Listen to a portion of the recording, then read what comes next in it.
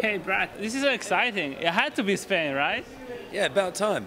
Um, I was wondering where it was going to be, and I knew it had to be Europe somewhere. I thought they'd bring it back somewhere, but really exciting to be Spain and, and the Basque Country, which I love. Amazing place. Exactly. I mean, it's so special. The Basque region in Spain is almost like a different world, and, and all the, so many great chefs come from there. Do you have any favorite restaurants? Yeah, I've, I haven't been to all of them, um, and that's why I'm so excited to be going back.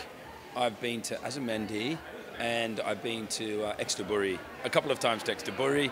I've been to Mugaritz. I just love going there, staying on the beach in um, San Sebastian, traveling through the mountains, and I'm really looking forward to, to going back if we get the chance to discover the region again. Yeah, so what do you take back from traveling and trying these restaurants a bit far away? Yeah, part of it is looking at new new ingredients afresh and seeing how they do things and, and, and talking to farmers, producers, and, and, the real camaraderie between chefs who, who, who join up together to experience a week in another country. You get a real amazing little community bond together. And, and that's really special as well to be able to connect with your professional um, counterparts in, in different places, places of the world, and, and, and, some great ideas come from that. Did you, have, did you ever make like a big change after uh, some traveling, like in your restaurant, in the menu? Did you ever make some big changes to?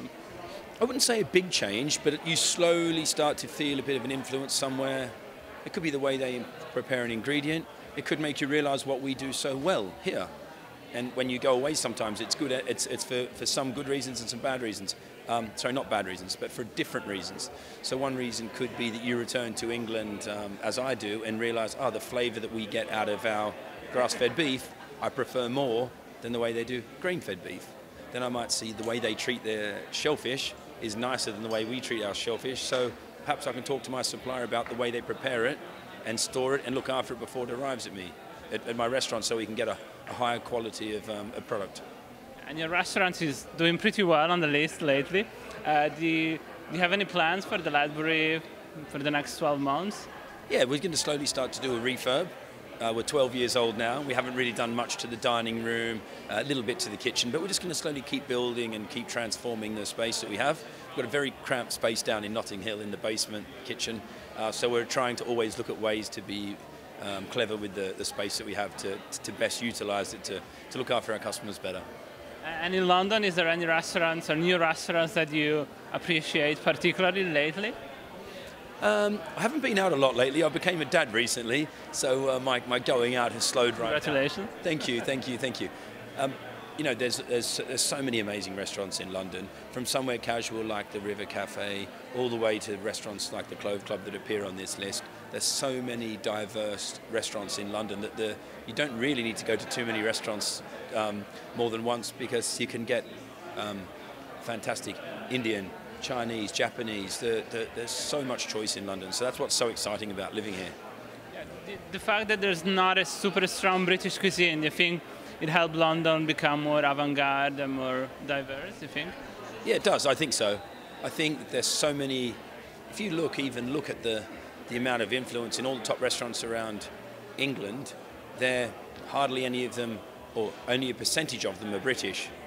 You know, you've got people from um, Germany, Japan, and all these people who have, come to England and made, made a life for them here, made a life for themselves here, and that in turn have influenced how they've run their restaurant like you said, that culture is not stuck in a way you might find in, in Spain, perhaps, or you might find it somewhere in the, the um, countryside in Italy. You know, those sort of like traditional ideals aren't there. So, yes, I think it makes it a really diverse place because of that reason. Last thing, let's not forget you're Australian, so you must have had a blast in Melbourne. How did it go? It was amazing. You know, Australia did a wonderful job. Tourism Australia really pulled out all the stops. They did a fabulous job of making everyone, you know, from the moment you walked out the airport, you see a flag up in the street, 50 best chefs here, the 50 best chefs in the world, whatever. Um, promoting it, they, the city really got behind it. And from having that dinner on the beach and, and from being able to visit local areas and wineries and, and, and spending time in Sydney doing the 50 best talks at the Opera House, all those things contribute to make one amazing event.